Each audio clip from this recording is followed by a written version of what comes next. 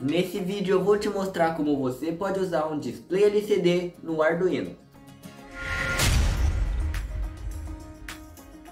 E para a gente usar o display, a gente tem que soldar os pinos nele. Então primeiro a gente colocou os pinos na protoboard, encaixou o display e para a solda dele é importante você saber também que essa parte de soldar os displays é um pouco mais difícil, já que essas soldas são bem pequenas e para isso você precisa esquentar ele um pouco antes e colocando a solda com calma. E esse aqui é o roteiro da nossa atividade. E para você acessar, você só precisa descer na descrição desse vídeo.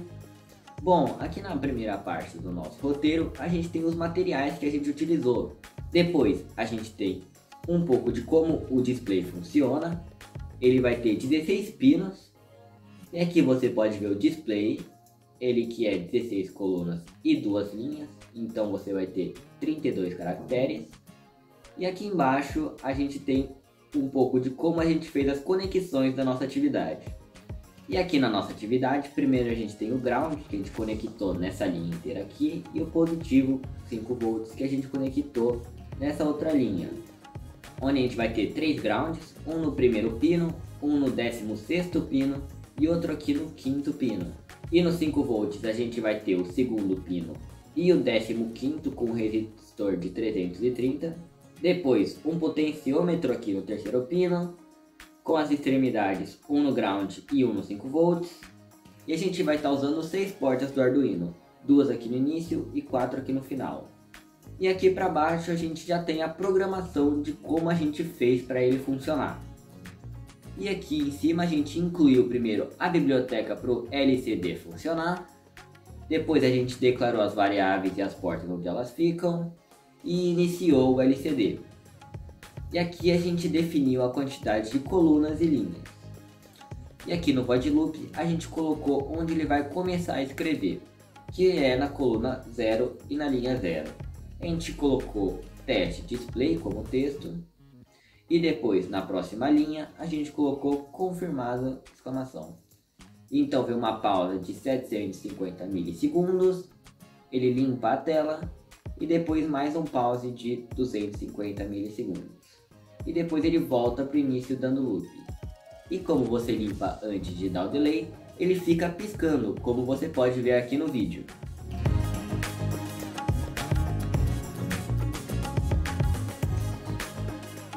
Aqui nessa segunda parte a gente incluiu o LDR, que é o sensor de luminosidade e vai mostrar quanta luz tem no ambiente pelo LCD. E se você não sabe como ligar o LDR, aqui a gente tem um outro roteiro de atividade que a gente mostra como você pode fazer isso.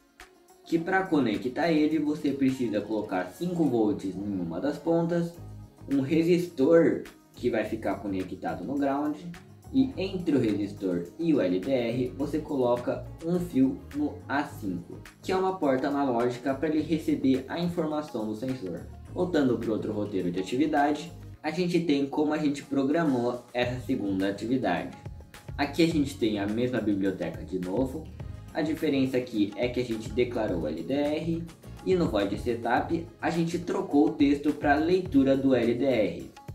E já aqui no void loop, a gente vai ter uma diferença que em vez da gente colocar um texto que é com aspas, como aqui em cima, a gente vai estar colocando o valor que o LDR vai estar dando de luminosidade no ambiente. E depois a gente vai printar a faixa de valores que o LDR tem, que vai ficar atualizando a cada 500 milissegundos ou meio segundo aqui no delay. E aqui no potenciômetro ele vai regular o contraste que vai aparecer na imagem do LCD. Onde que no zero ele vai ficar muito apagado e no máximo ele vai ficar bem aceso. E os valores que aparecem ali no LCD, eles variam de acordo com a luminosidade do LDR. Em que se tiver muito aceso o ambiente, ele vai ficar com um valor muito alto, e que se tiver muito escuro, ele vai ficar com um valor muito baixo. E nesse projeto a gente usou o LDR, mas se você quiser você pode usar outros sensores, como por exemplo um sensor ultrassônico. E se você quer aprender como usar o sensor ultrassônico para medir distâncias, acesse esse vídeo aqui e até a próxima!